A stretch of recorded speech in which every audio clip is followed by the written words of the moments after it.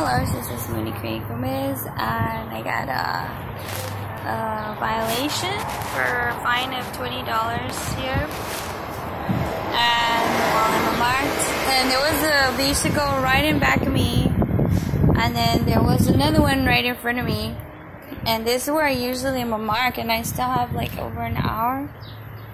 I put in a lot of coins there, you can see.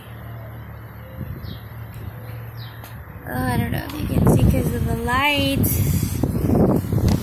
But yeah. I'll brighten up or something. Can't see, but the meter says right there. Light's like right in front of me.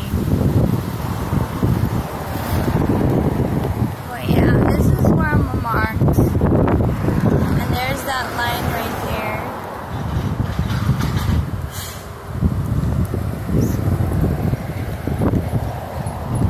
Where I usually stop right there.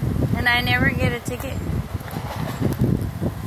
Like, I had a funny feeling they were just watching and waiting to get me a ticket somehow. There's a lot of scam artists everywhere.